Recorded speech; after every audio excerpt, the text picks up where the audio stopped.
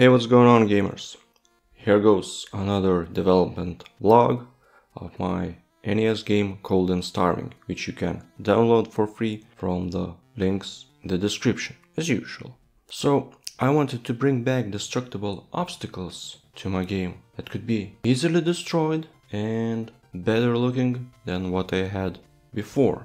The first problem I ran into was that I had no more space for any new tiles because my tile set was mostly filled with tiles that were meant for the crashed plane. What am I supposed to do? I know. What if I could use the same technique that I used before to load the villager graphics? I could store the plane tiles as a separate binary blob and I would only load it when you enter the crash site location. After tweaking my routine that loads chunks of graphics data into cartridge's CHR RAM, I was finally able to free up this large area for the new tiles. When I enter the crash site, the game fills this area with the plane tiles, but when I'm not there, this area could be used for something else. So the first thing I've added there was these tiles of a cracked stone. My initial goal was to add two stone blockades, one in front of the granny's location, so you would not get to the granny that easily, and a second stone inside of the secret cave. As you see those blockades are made of four tiles, so we have another problem. With my existing destructible tile system you could only break one tile with a hammer at a time. But unfortunately, probably no one's gonna chop the obstacle tile by tile. Also, I did not want to waste the space in RAM with four destructible tile statuses for one obstacle, because surprise surprise, I already almost filled the entire NES RAM full. I needed to come up with some solution. And I did. I created just a simple array, and thanks to it, now I can associate a state of one byte with multiple destructible tiles and destroy the stone when one hit. To guide the player and inform how to destroy the stone, I created a new letter item. It's the third one. Also had to tweak the item respawn system for it. So the items of this particular type, I call them documents, could not respawn after being picked up. Not sure if it's a good decision, but I don't want to have multiple instances of these items. After that I had to tweak the villager quests a bit. Basically Erika now should give you the super hammer so you could break that stone. It happens after the second quest, after you bring her the knife. Although I kinda feel it's a bit too early, so probably I will change that later. Last time I forgot to mention one thing. I've changed how the jam looks. Now it's no longer a jar. Since the berries are basically an HP up, I thought perhaps the player might think that the jam that you can craft from two piles of berries is also some kind of a healing potion, like the red HP potion in Diablo. So I decided to transform the jar into a bowl filled with some red goop. I think this would look more like a food item, which this item is supposed to be. Also I had to go through all the dialogue lines and change the ones that mentioned a jar. Another thing I made was the possibility to destroy the skeleton in the cave, because I've noticed that people try to poke it. So here you go, now you can destroy it. Of course the skeleton will respawn the next time you enter the cave. And it doesn't drop anything, at least yet. I continued working on the quests. There were these congratulatory lines where the villagers would try to tell you how to make certain things as a reward. My issue was that these lines were just text only. I wanted them to have sprite images like the quest lines. That way you could clearly see what items you need to combine. So I put some elbow grease to display sprites there as well. After these changes I decided to play my game, and I was terribly disappointed. It appears that when you break the stone, go home, and then return back, the stone is still there. Huh? Previously I used the destructible tiles in relatively small locations, and they were constantly drawn to the particular addresses during every NMI. But this time the name table addresses did not match. Perhaps the name tables were flipped while scrolling, or maybe they were reset when I entered and exited the house. So that's why the empty tiles were not drawn on top of the stone.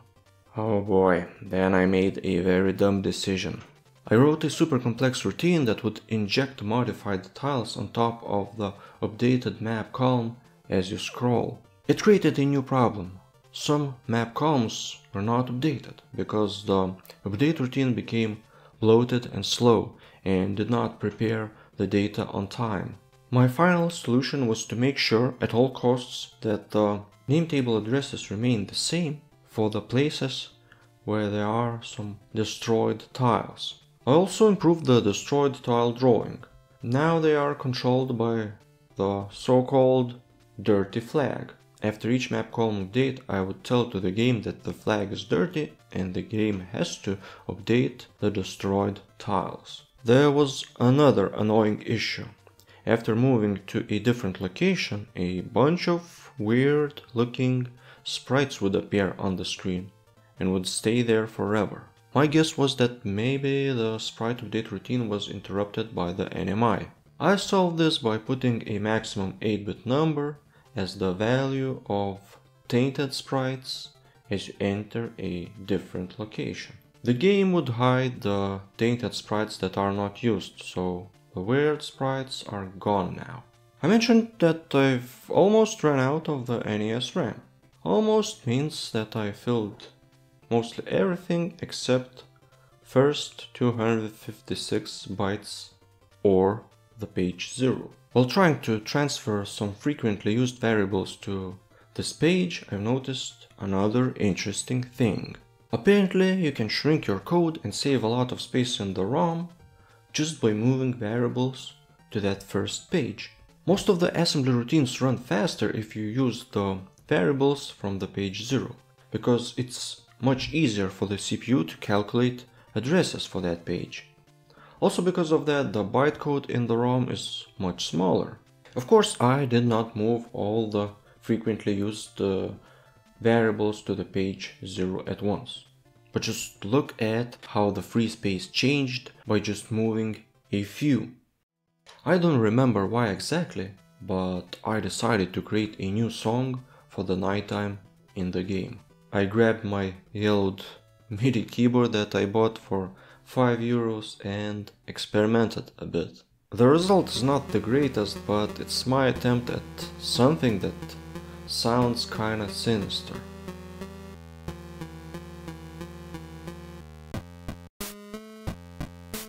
So this tune starts playing when the night comes, or when you enter the cave. Once the sun rises, the song should change to a previous one.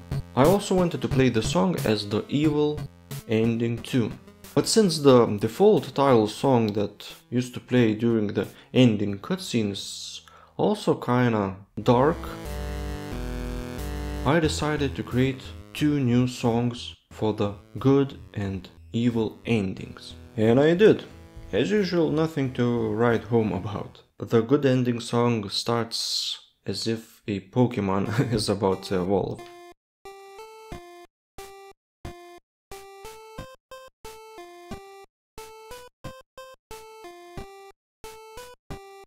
Most likely I will try to improve both melodies, or perhaps I will create entirely new ones. I still have a bit less than 1 kilobyte in the bank where the music is, so I think that's plenty enough for the song improvements. Lastly, there was this big issue. Why the heck the game became so horribly slow? My first guess was maybe the collision detection code is crap, because now it also had to check more destructible tiles. Without doing any testing, I created two separate collision detection routines. One is used only by the player character and it checks if the destructible tiles are gone and if it's possible to go through. The second routine is much more basic, it ignores the destructed tiles. So all the animals and projectiles now use it. So did it make a significant difference? Unfortunately not really, but now you can at least exploit it. You can kill enemies more easily by standing on a destructed tile. Then I turned on the Mesen's profiler. I don't really have a clue what exactly I need to track there. I assume that the routines that have the largest amount of calls and longest execution time cause the lag. So after a couple of minutes playing, I've noticed that the routine, which is responsible for checking if the player damages NPCs, has a suspiciously high amount of calls. I don't remember if I mentioned before, but I don't do my game logic in one go. So basically I assign a particular delay for each thing, like I wait 100 of my game loop iterations until I try to check the input. Or I wait 133 iterations and only then I run the animal AI. While the time is ticking, the game can do other stuff. The problem here is that my numbers are kinda random and I haven't checked how much time it takes for these particular tasks to be done. Plus the execution time is constantly changing when I add new features. So to solve my current slowdown, I decided to increase the delay number for the player damage checks. To my surprise, the game speed improved significantly and the animals now move a lot faster.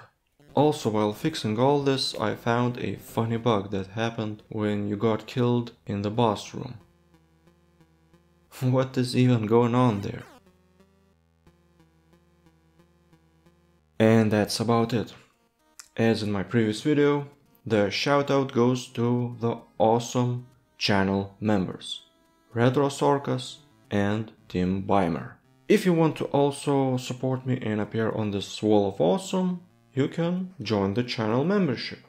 So yeah, thanks for watching till the end, hit that like button, subscribe so you won't miss my new videos and I will see you in a next one. Bye bye.